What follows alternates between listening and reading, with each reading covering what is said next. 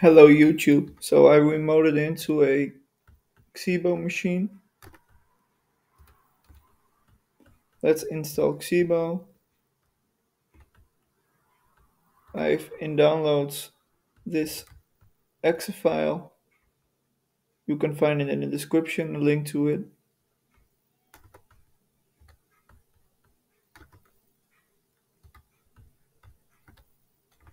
Clicking next on most things.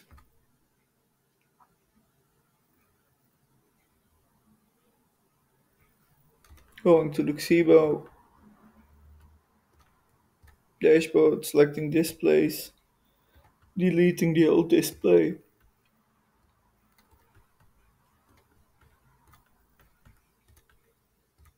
Deselecting both. Selecting Xibo player options.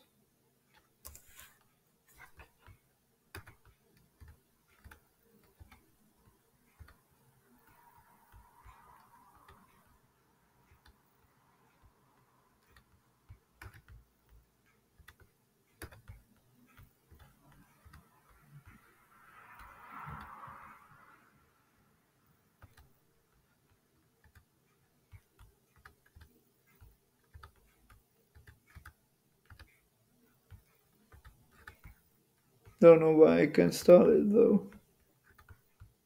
Maybe I need to be administrator. Yeah, then it is going to work. So I already filled in my stuff earlier. This all works. Let's connect. Let's refresh this page. Now we'll need to authorize.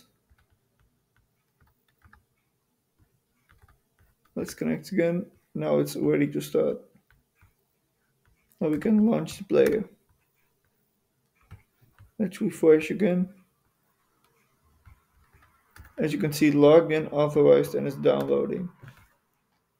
Now it should work though. And as you can see, now we have our thing. Beautiful, isn't it?